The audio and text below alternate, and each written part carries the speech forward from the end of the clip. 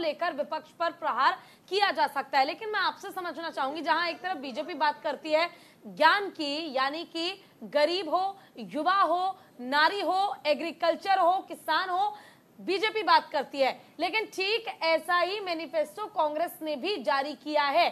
तो आखिर उसमें इस्लामिक बू जो आ रही है पीएम मोदी को, आखिर ऐसा क्यों? क्या कमी है ऐसी या क्या ऐसा वादा कर दिया उस मैनिफेस्टो में कांग्रेस ने, जिसके ज़रिए तुष्टीकरण का ज़िक्र किया जा रहा है। किसी दूसरे वर्ग के लोगों को साधने की कोशिश का आरोप लगाया जा रहा है कांग्रेस पर।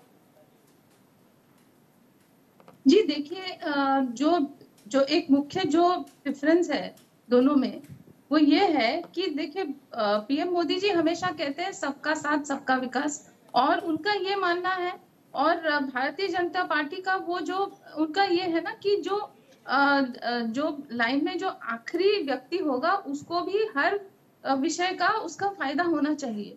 तो उनका यही एक मानना है कि अगर हम कोई एक स्कीम या पॉलिसी लाए तो उसमें सबका भला होगा तो उसमें हर कोई वर्ग आ जाएगा।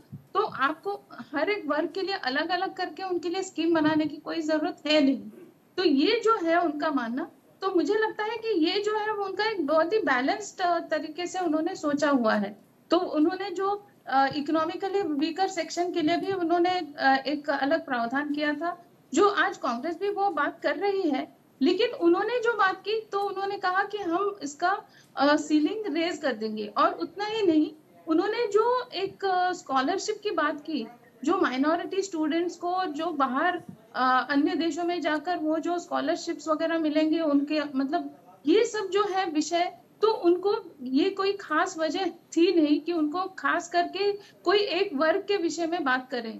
तो वो जो है सभी छात्राओं के लिए सभी वर्गों के लिए कह सकते थे कि हम सभी को स्कॉलरशिप देंगे। हम सभी के हम सभी के शिक्षा के विषय में हम सोचेंगे।